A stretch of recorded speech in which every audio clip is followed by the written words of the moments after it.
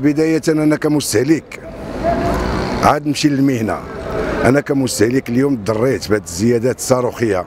زيادات بدون مراعاة بدون رحمة. حنا اليوم ولينا حيرين في أمرنا كمغاربة. واش هاد الناس اللي مسيرين الشأن الحكومي اليوم؟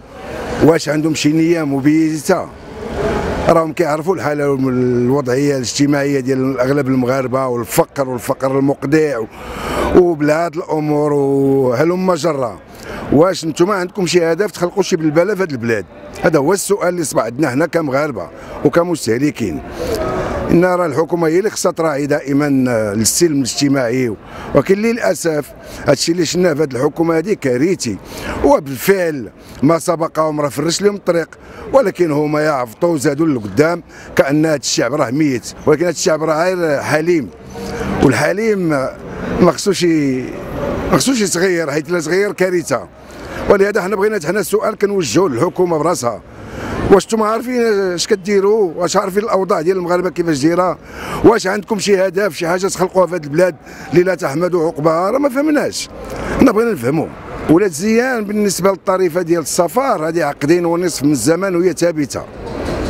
قانونية. المواطن كيعاني دائما من الوساطة. من هذوك الوسطاء ماشي غير في ولاد زيان حتى الوسطاء ديال الخضار اللي في في, في, في الأسواق الجملة وهذا. هادو مشكل اللي هي نورمالمون الدولة هي أو الحكومة براسها اللي خصها تشوف هذا الجانب هذا باش تحمي المواطن. ولكن غادي نعاود نكرر بأن هذه الحكومة هذه ما سوقهاش في المواطن.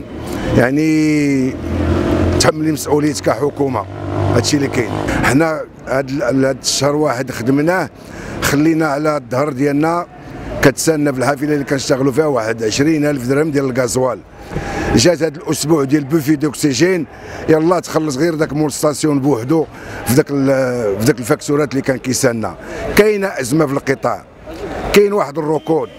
وزيدها حتى العشوائية اللي كرفسات المواطن وما خلاتش المواطن يزيد مازال يثق في هذا القطاع هذا ويرجع لهذا الفضاء يتعامل معه للأسف للأسف. راه المغاربة جميعهم متضررين اليوم.